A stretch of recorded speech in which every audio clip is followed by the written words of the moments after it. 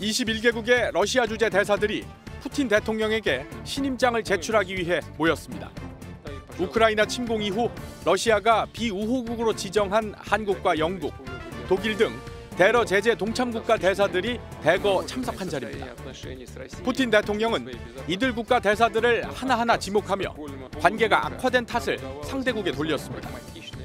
официального Сеула зависит, удастся ли вернуть российско-корейское сотрудничество на траекторию столь выгодного для наших стран и народов партнерства. Хочу подчеркнуть, уважаемый господин посол, мы к этому готовы.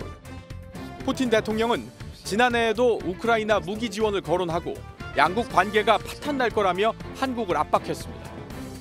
Сейчас нам известно, что м, Республика Корея приняла решение поставлять оружие и боеприпасы на Украину. Это будет разрушать наши отношения. 외교부는 필요한 소통을 계속하고 있다는 원론적 입장만 내놨습니다.